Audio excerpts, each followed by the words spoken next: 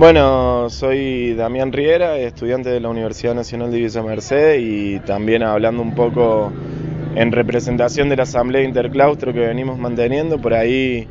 es importante contextualizar primero lo que viene sucediendo en un contexto nacional en el que vemos nuestra educación pública atacada por muchas medidas de gobierno que, que la golpean sistemáticamente desde hace ya bastante tiempo en relación al recorte presupuestario en becas, en infraestructura, en extensión, en investigación, en ciencia y tecnología. Y es en ese marco que todas las universidades del sistema público de educación superior nos venimos encontrando con preocupación y, acá en Villa Mercedes en particular, con la característica de tener dos universidades nacionales en la misma ciudad, nos hemos ido encontrando y recorriendo un camino de asambleas interclaustro docentes, no docentes y estudiantes de las dos universidades y es eh, en ese proceso que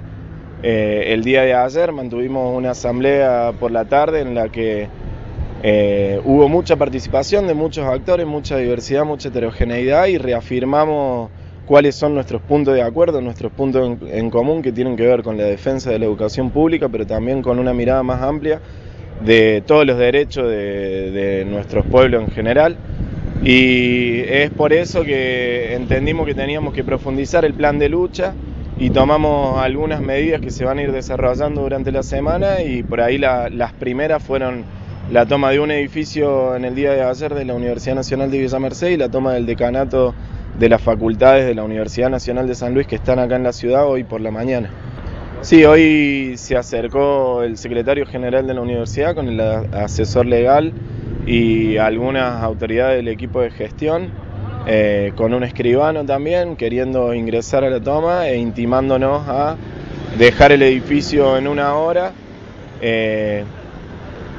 aludiendo a la posibilidad de llamar a las fuerzas federales de la policía para desalojarnos cumplido ese plazo.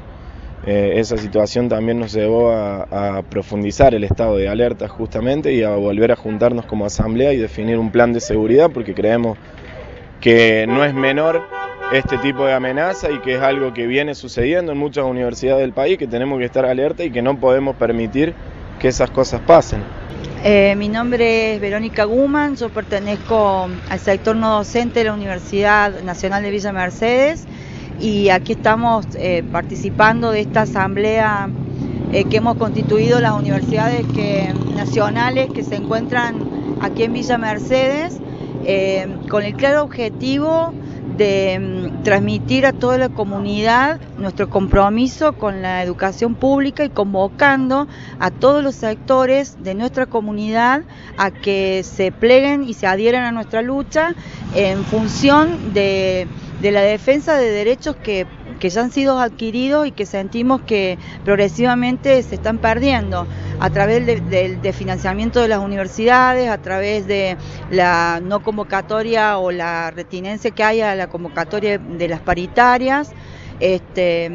Consideramos que, hoy en nuestro lugar está aquí en la universidad, en la calle, con la comunidad toda, eh, defendiendo los valores de lo que significa lo público y, lo que significa para todos, digamos, para la comunidad entera. En ese compromiso y con ese objetivo es que estamos convocando a las asambleas abiertas, que si bien están siendo llevadas adelante por las universidades de, nuestra ciudad está abierta a la comunidad toda con una importante participación y un importante compromiso de todos los sectores de nuestra comunidad.